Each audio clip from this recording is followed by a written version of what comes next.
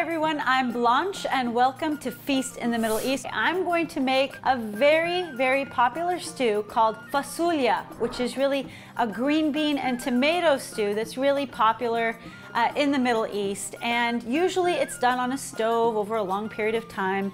But I'm making a working girl's fasulia because I have a job, I have two kids. So the crock pot right here is going to be amazing in transforming this dish into something hearty in just a few hours while you're out doing your thing. So let's start with the meat. Now for fasulia, the base is usually some kind of meat. I like to use lamb, that's the traditional way, but you can use chicken if you are not a lamb fan. And I'm gonna season them very simply with just some pepper, some salt, and some allspice. Again, we use allspice in everything in our cooking.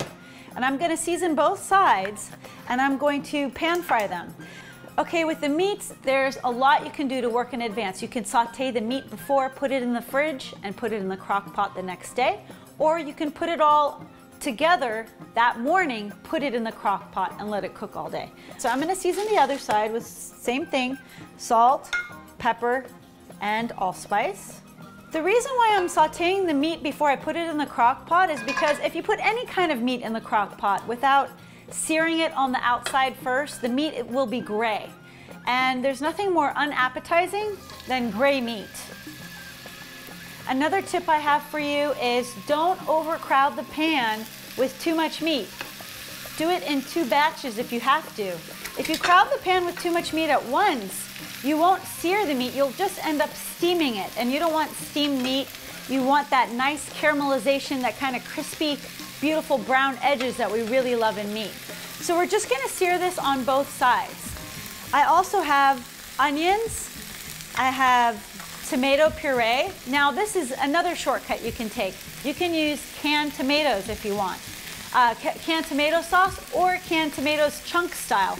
My kids don't like chunky tomato in their food, so I just puree it. This is pureed tomatoes. It's a great way to use summer tomatoes. Now green beans. I like, my favorite variety of bean are the haricot vert, that's the French style. They're long and skinny, just like this. And they also offer them frozen. So if you don't have these available to you uh, in the winter time, you can get frozen ones that work just as well. You could even put them frozen in the crock pot and cook them all day. And let's see if we've got this searing, nice caramelization that I'm after in the meat. Yep, see it's turning brown already. So let's just flip them over. I have found tremendous results though by putting the crock pot on all day for eight hours on a slow cook because what happens is when you take the meat out, it's so tender it falls right off the bone. You don't even need a fork and knife to eat it. As you can see, the meat is nice and browned on the outside and I think it's ready to just place in the crock pot as is. All seared on the outside like that. Very easy. And I don't want to waste these pan juices. These pan juices are tremendous for adding rich flavor to my dish. So I'm just gonna add a little bit more oil, olive oil, about uh, a tablespoon or two, and one onion. And I'm going to saute it for a little while until it gets brown because I'd like my onions to get brown too, not just the meat. Okay, so can you see how beautiful and brown these onions are? Now it's time to add the garlic. I'd say a nice big heaping tablespoon or about four cloves of minced garlic. You want to add that last. If you add it in the beginning, the garlic might burn and there's you don't want burned garlic in your food. It really takes only a minute for this garlic part to saute before you transfer it to your crock pot. So here we go. We're just gonna give it a nice quick saute and then we're gonna place this over the meat. And like I said, if you don't want lamb, you can always use chicken. Make sure you brown the chicken the same way. And I'm gonna just put it over in my crock pot, just like that. So we're gonna add the, the green beans. So these are the green beans, just put them on top. They cook down substantially, so don't be shy about putting a lot of green beans. And then of course we are gonna season the, the green beans as well. We can't just, you know, let them sit there. So we're gonna put about another half teaspoon of salt over the green beans. And I'm going to put some more allspice over the green beans. I'd say another half teaspoon of allspice and some pepper because we're not just seasoning green beans, we're gonna season a broth. And the broth um, has to have a lot of flavor because you're gonna spoon that over rice. Now, this is traditionally eaten over rice. If you wanna go low carb, this makes a lovely hearty stew. What I really love about crock pot cooking is that in the summertime when you don't wanna turn the oven on, but you wanna cook, this is a great alternative. And it's also lovely in the wintertime because if you don't have uh, the vegetables in season, you could buy them canned or frozen, put them in, and you have a really hearty dish that's very satisfying in the cold winter months. So this is versatile for both seasons. Now I'm gonna add about four cups of water. So I added the tomato puree and I'm gonna add the water, okay? And believe it or not, that is all you need. So you put the top on, you cover, and you let it cook as long as you want, all day long. And I'm gonna show you what it looks like when it's all done. This is one that I've had simmering overnight. Look at that.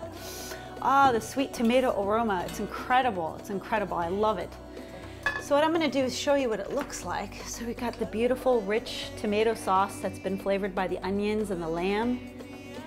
And so let's put some of the lamb in here and some of the green beans and tomato. And some people like this really soupy. They don't care if there's rice in their plate. They just want a lot of soup. I'm gonna take some of this beautiful rich tomato broth and put it on top. Just like that. Isn't that gorgeous? And people will think you slaved for hours when really, you know what slave for hours is this beautiful gadget that I cannot live without. As you can see, the meat is so tender, it falls off the bone. It's so easy, you barely need a knife to get it off. And you can flavor, you can get a bit of the onion and the green bean.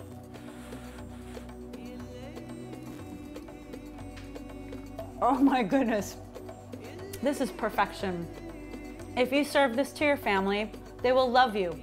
I'm serious. My family loves me when I serve this for them. They are all happy, in a good mood, and it looks like I spent hours and hours and hours when really it just took a, a few minutes to assemble, and boom, you're done.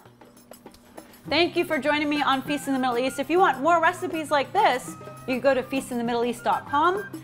You can go to youtube.com slash BlancheTV or you can find me on Facebook at Blanche is Feast in the Middle East. Until next time, sahtain. This is incredible.